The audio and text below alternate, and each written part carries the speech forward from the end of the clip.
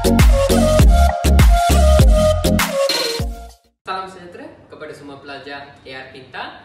Terima kasih kerana bersama dengan Cikgu Tiran untuk subjek sejarah. Okey, baiklah pelajar-pelajar sekalian. Hari ini kita akan lihat kepada bab 5 iaitu berkaitan pembinaan negara dan bangsa yang merdeka. Jadi untuk bab ini dia amat penting untuk peperiksaan SPM kerana soalan selalu akan menanyakan beberapa bahagian yang penting daripada bab ini terutamanya ialah tentang sistem ahli.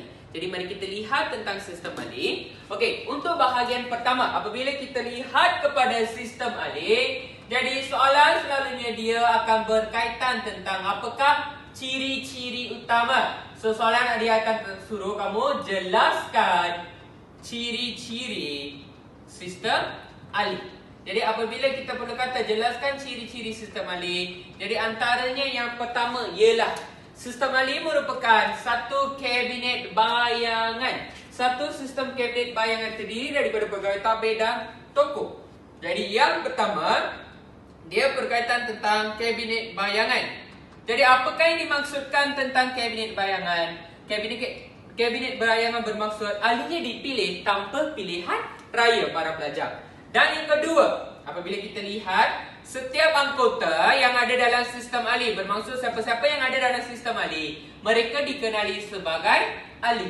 Jadi siapakah yang akan melantik mereka? Pelantikan ahli dibuat oleh PTB, Pesuruhjaya Tinggi British dengan persetujuan ataupun dengan Majlis RRM. RRM stand for Majlis Raja-Raja Melayu. Dan yang ketiga, keempat pula para pelajar, dia terdiri daripada sembilan orang. Daripada sembilan orang kita pecah kepada dua, iaitu lima orang dan empat. Lima ini merupakan rakyat tempatan yang tempat ini merupakan pegawai barat ataupun pegawai British. Jadi daripada lima orang, tiga orang adalah orang Melayu, seorang adalah orang Cina dan seorang adalah orang India. So tiga, satu, satu.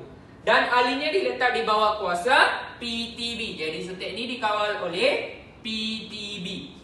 Boleh faham para pelajar? Jadi sistem ahli kalau soalan dah keluar bagaimana kita dah ingat sistem ahli merupakan satu kabinet bayangan. Ahli ini anggotanya dikenali sebagai ahli. Lepas tu pelantikan dibuat oleh PTB dengan persetujuan MRM.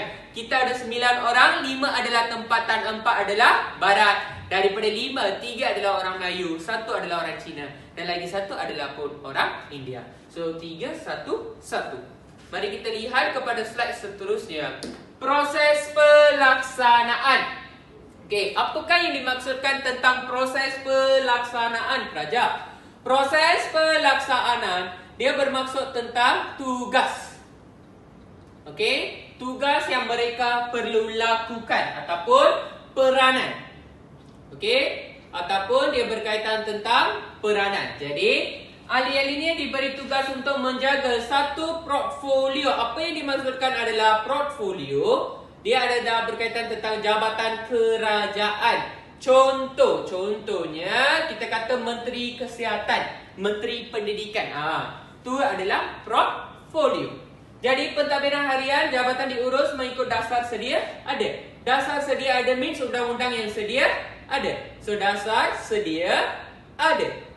Dan yang ketiga, ahli-ahli ini bertanggungjawab mencadangkan undang-undang bermaksud kamu boleh cadangkan undang-undang yang berkaitan tentang portfolio masing-masing. Contoh dia kamu merupakan Kementerian Kesihatan. Jadi you cadangkan sedikit langkah untuk membaiki sistem kesihatan di negara kita.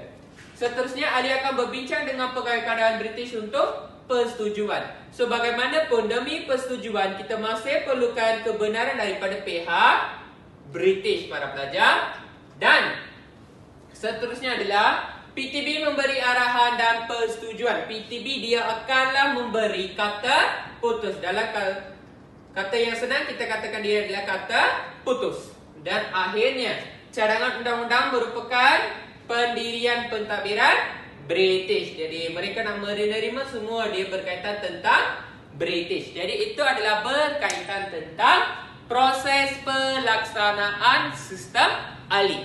Jadi untuk hari ini cikgu stop dengan sistem ahli. Kenapa? Dalam video-video seterusnya kita akan cikgu akan terangkan lebih terperinci tentang maklumat sistem ahli dan seterusnya tentang bab 5. So cikgu berharap untuk jumpa anda semula dalam video seterusnya. Terima kasih para pelajar.